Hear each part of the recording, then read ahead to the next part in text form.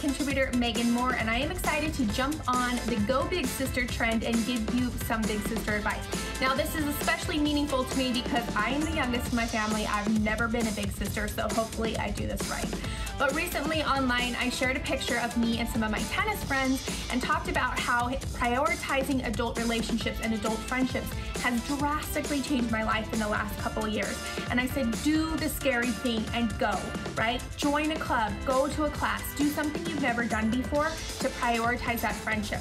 Now, here's the big sister advice. When you walk in the room for the first time and you're scared, and you will be scared, verbalize it. Say out loud, hey, I've never done this before. I don't know what I'm doing. It instantly takes the pressure off, so there's no expectation that you're gonna be good at something you've never done before.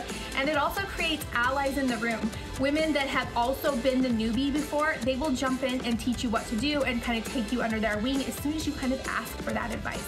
So don't be scared. I hope this pushes you to try something new.